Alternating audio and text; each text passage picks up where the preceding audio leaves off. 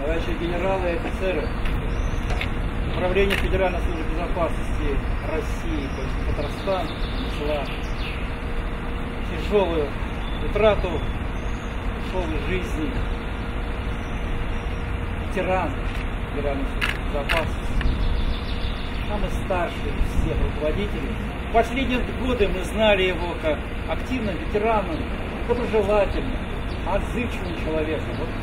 Моей жизни он останется так. Я думаю, что он слышит, поэтому Ильдус Хамитович, Федеральной службы безопасности по нашей республике будет всегда вас помнить. Светлая память о вас останется на века. Ильдус Хамитович не сам выбрал комитет госбезопасности. Его опять-таки направил на эту работу партия. И он более семи лет честно и принципиально выполнял партийные поручения. Ему достались нелегкие годы работы в КГБ. Во-первых, начиналась перестройка, реформирование самого органа.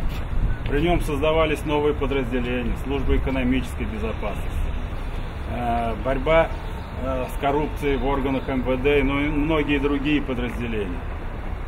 И на протяжении вот всей своей службы не было каких-то серьезных недостатков в его работе.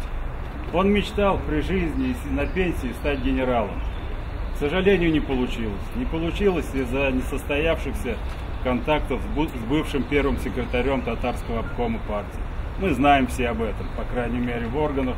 И сегодня об этом можно говорить уже открыто. Насколько к нему э, было уважение, насколько э, у него был э, большой авторитет. Ну а мы, молодые руководители, учились вот этим отношениям, дорожили отношением с этим замечательным человеком. Дорогой Лускович, прости, что не уберегли, спи спокойно, мы всегда тебя будем помнить. خالصا لله تعالى الله أكبر